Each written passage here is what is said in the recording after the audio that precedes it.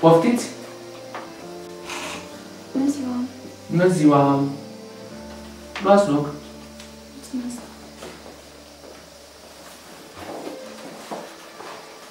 Domnule doctor, am o problemă serioasă și am nevoie urgent de ajutorul dumneavoastră. Cu ce vă pot ajuta? Uh, Vedeți dumneavoastră că copilul meu are doar câteva luni și eu sunt din nou însărcinată. Nu vreau să am copii cu vârste atât de apropiate. În regulă, ce vreți să fac? Vreau să-mi întrerupă sarcina și uh, mă bazez pe ajutorul dumneavoastră pentru aceasta. Cred că am o soluție mai bună la problema dumneavoastră și mai puțin periculoasă pentru sănătatea dumneavoastră. Care, domnule doctor?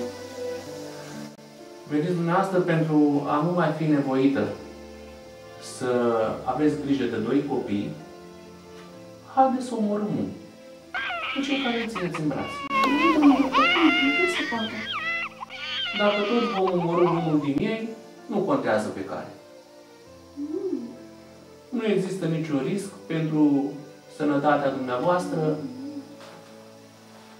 pentru corpul dumneavoastră, dacă alegeți pe cel din brațe. Nu, dar este înspăimântător ce spuneți. Sunt de acord, dar părea să acceptați acest lucru. Așa că mă gândeam că aceasta ar fi cea mai bună soluție.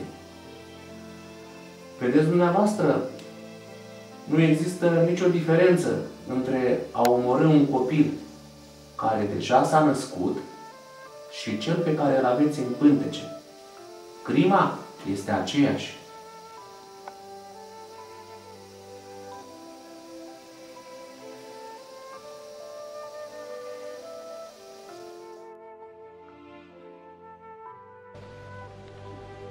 Femeia creștină a fost înălțată și pusă la loc de cinste de Domnul Hristos. Femeia creștină să păzească credința și mai ales femeia să devină mamă, căci aceasta este mernirea femeii pe pământ. Să nască toți copiii pe care îi dă Dumnezeu, nu să-i arunce, să-i avorteze, să-i omoare în diferite chipuri căci acest păcat atrage mânia lui Dumnezeu